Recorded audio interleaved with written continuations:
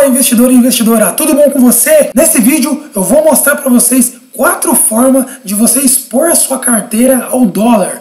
A gente sabe que o dólar vem crescendo muito esses últimos meses, né? Quando o dólar estava ali a 3,50, 3,80, muitos já falavam que estavam caro. E hoje o dólar é quase a 6 reais. A gente nunca sabe quando realmente o dólar está caro. O dólar sempre, sempre pode se deslocar muito do real, né? Já que a gente sabe que o nosso país passa sempre por uma crise política, ou uma crise econômica, ou uma crise de gestão, ou tudo de uma vez, né? Então o dólar acaba disparando em alguns momentos e é sempre importante você estar tá protegido em dólar. O que seria esse protegido, né?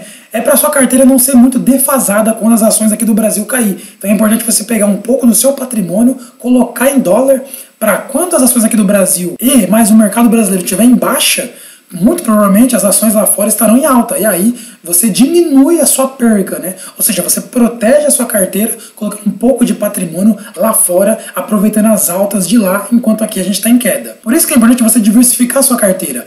A gente fala em diversificação, não quer dizer só comprar vários tipos de ações diferentes, como por exemplo, uma ação de banco, uma ação de seguros, uma ação de energia elétrica, outra ação de saneamento básico. Sim, isso é diversificação, você está certo. Porém, você está totalmente exposto ao mercado brasileiro quando você faz isso. Então, um outro tipo de diversificação inteligente é diversificar também os países, tá? Divers investir um pouco aqui nas ações brasileiras, mas também investir nas ações americanas. E existem quatro formas de você fazer isso, é o que eu vou te apresentar aqui nesse vídeo.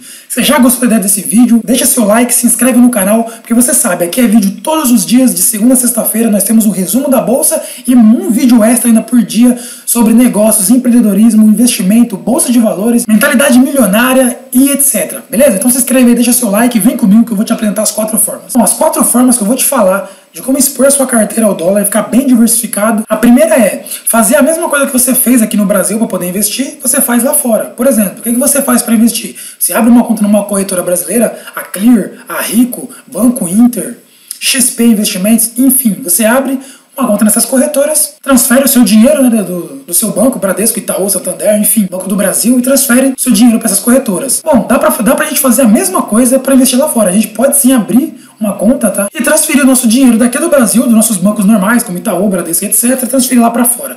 Uma das corretoras que é mais falada, né, que a gente mais vê aqui no YouTube, é a Avenue. Eu, particularmente falando, nunca usei, eu não sei se ela é boa ou não, mas pelo feedback que eu pesquisei antes de gravar esse vídeo, o pessoal gosta muito dela, principalmente o pessoal gosta dela porque ela é uma empresa de brasileiros, tá? É uma empresa de brasileiros que foram lá fora, abriram a empresa lá fora, né, para poder ajudar os brasileiros que justamente queriam ter essa facilidade de poder investir no mercado americano. Então a primeira forma é essa, é você fazer o mesmo trajeto que você já faz aqui no Brasil. Abrir uma conta numa corretora, no caso lá vai ser a Avenue, vai pegar o seu dinheiro, vai transferir do seu banco da, tradicional aqui do Brasil para essa corretora lá dos Estados Unidos. Automaticamente o próprio aplicativo da Avenue já converte o valor que você transferiu pro dólar, tá? E aí lá no home broker tá, da Avenue você vai conseguir buscar as melhores empresas como Coca-Cola, Apple, Facebook, Microsoft, Disney e etc. Bom, essas são as principais empresas que a gente tem na Bolsa de Valores americana, entre outras, tá? Então essa seria a primeira forma, é você se expor diretamente a uma corretora mesmo que esteja lá fora. No caso, que eu mais pesquisei, que mais vi o pessoal falando é sobre a Avenue, então eu vou indicar ela aqui também, a Avenue. Mas lembrando que eu mesmo nunca usei,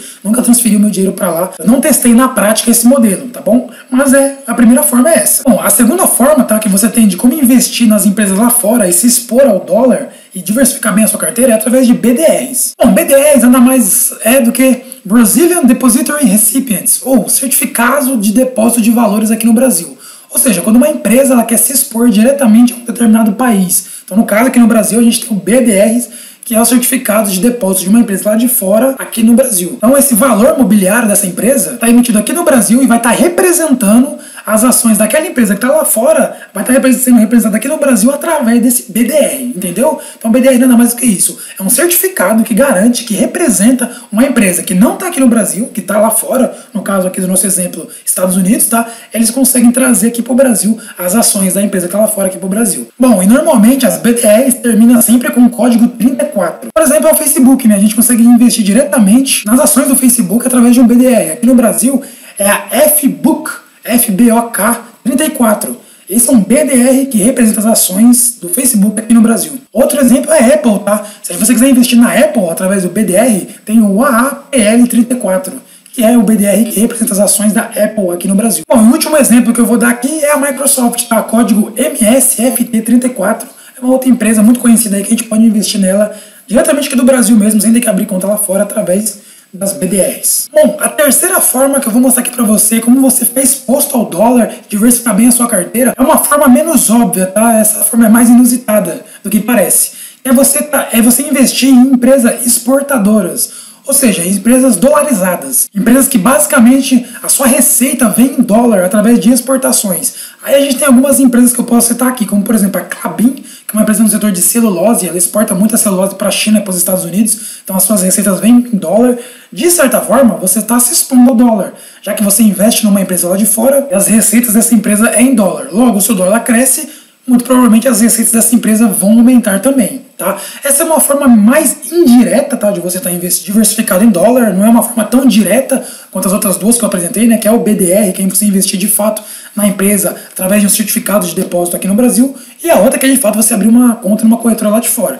Mas eu acredito que sim, é uma forma de você estar tá diversificando a sua carteira. Então, a gente tem a Clabin, a gente tem as empresas também de proteína animal que exporta bastante, como a JBS, a Mafrig, por exemplo, a Brasil Foods. Bom, vamos para a quarta e última forma de como expor a nossa carteira ao dólar, né? E diversificar bem nossos investimentos, que eu acredito que essa é a melhor forma de todas, que é através de um ETF, né? Que é o IVVB11. Esse IVVB11 nada mais que é um ETF que replica as principais ações lá de fora. Bom, qual que é a desvantagem desse ETF? Primeiro que você vai ter que pagar uma taxa, tá? Todo ETF ele tem uma taxa, porque na verdade é um fundo, tá? Então tem um gestor por detrás ali, então você paga uma taxa e quem escolhe as ações não é você, tá? É o gestor. Quando você compra um ETF, ele já replica várias ações. Talvez essas várias ações que ele replique, você não gostaria de estar investindo nelas. Porém, você não tem como customizar isso através do ETF, tá? Você compra o ETF, você já compra tudo que vem dentro dele. Porém, quando você investe no ETF, você compra tudo que já vem dentro dele, certo? Então você não vai ter como escolher quais ações você vai poder ser sócio, como no caso da, da primeira dica que eu passei e a segunda dica que eu passei também,